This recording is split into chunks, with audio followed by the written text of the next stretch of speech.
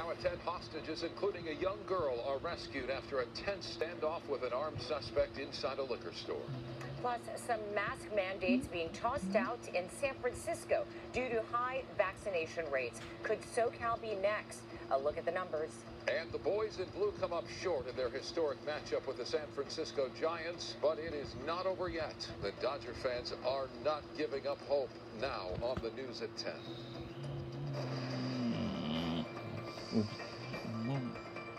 evening, I'm Micah Ohlman. And I'm Cher Calvin. We begin with breaking news in downtown LA where a robbery and shooting turned into a hostage situation inside a high rise apartment building. The suspect has been shot and killed. The hostage rescued. Gil Leyvas live in Sky 5 tonight. Gil.